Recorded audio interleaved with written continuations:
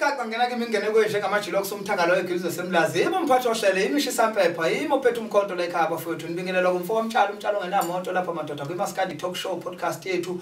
Ewunqa phambili ehe ewunqa phambili angithi ngisho kahle. Athi-ke namhlanje ngiphethe insizwa madoda uScoop Sedesh umfo wadlameni ngimlanda phansi kwela seNewcastle kwelempintshi kwelamapantsula madoda awusuka. Ngimphethe-ke lo mfo namhlanje bafowethu.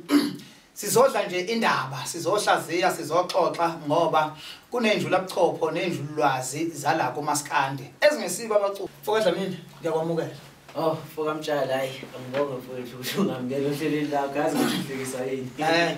Ngihlekisa ukuthi uthe hayi phela ukushisa impepho zokwethula kodwa ke hayi anginankinga mfowethu. futhi ukuthi umkhonto ngawunikwa wuwa kusho lutho namhlanje phethwe yini phethwe yini namhlanje hayi zishitshile izinto Yeah. ya Eh no hayi eh mfowethu namhlanje sizozama ukuthi eh sihlaziye ngoba sasike sasho vele masiqala i-podcast ukuthi ke eh sizokwenza nokuthi sihlaziye lapha nalapha futhi ngendlela yokuthi noma kuthiwa siyagxeka kodwa sixaka ngendlela yokuthi siyakha. Eh azizile ukuthi sizonaphaza abantu cha.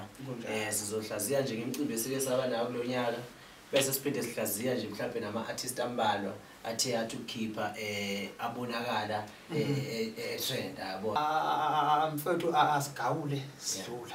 No eh ake sizame ukuthi sihlaziye imicimbi kwamanje Mhm. yeah and then sizobe bese singena kuma artist eh sino sino sinemicimbi emithathu. eh engazathi ya recognizewa abantu kulonyaka yebo. Eh sinempucuzeko sinombuso wamaciko Yebo. sibe negcwalisa eh, spring all white. Hayi bafa insilana abantu.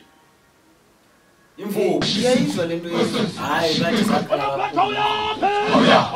Leadership.